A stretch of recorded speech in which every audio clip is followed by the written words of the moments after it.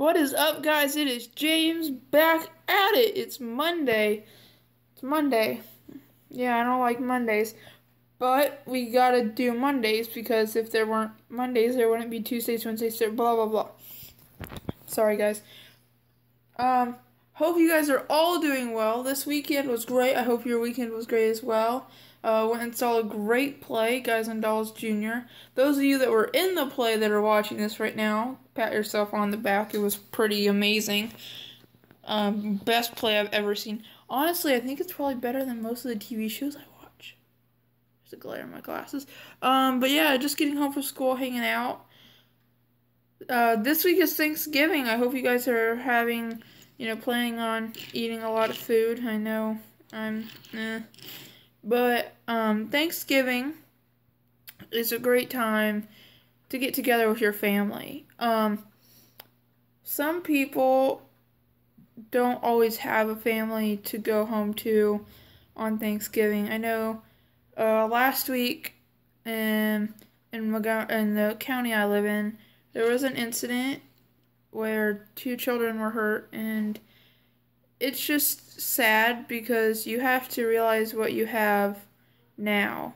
You know, this dad lost two of his kids in one day.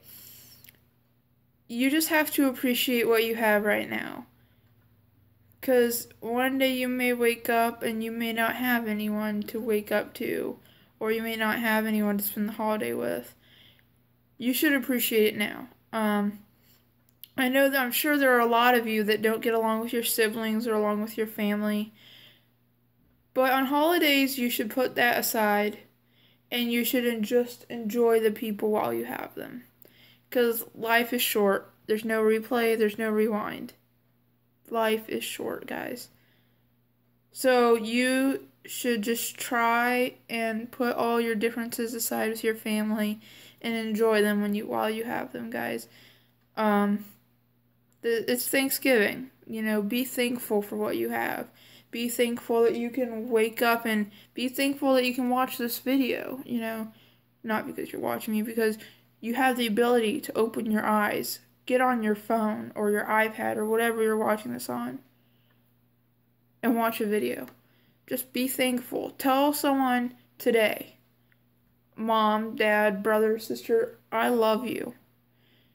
Three simple words can change someone's life, guys. That's where I'm going to end this today, guys. Thanksgiving is on Thursday. Be thankful for what you got and make sure your family knows how thankful you guys are. Have a great day.